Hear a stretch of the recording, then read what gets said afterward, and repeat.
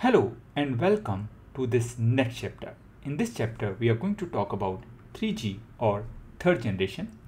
The technology what we have used in the 3G or third generation was called as WCDMA, which is referred as wideband code division multiple access. It offers significant improved in mobile communication and we moved away from 200 kilohertz bandwidth in 2G to 5 megahertz in 3G. Higher the bandwidth, higher the data rate. Because we were having higher bandwidths, we were able to achieve faster data transmission, which supported not only the voice and SMS, but also good internet browsing, video calls, and multimedia applications. 3G also laid the foundation for mobile data revolution and it provided greater connectivity and mobile internet access on a global scale.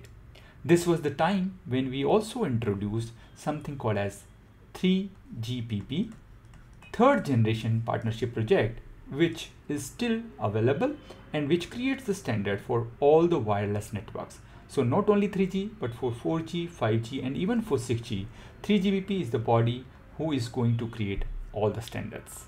That's all what we have in this chapter. In the next chapter, we are going to talk about 4G networks.